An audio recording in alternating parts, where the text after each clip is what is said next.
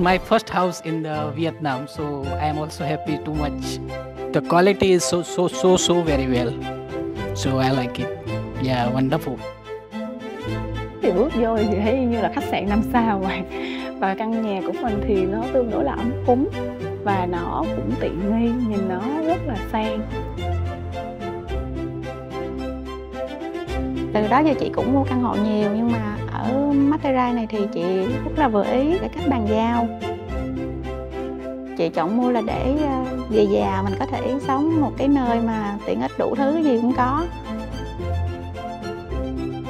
Chị cảm thấy là là chính xác khi mà quyết định lựa chọn Mastery mọi người không cần lên phân vân nữa nên, lên xuống tiền đi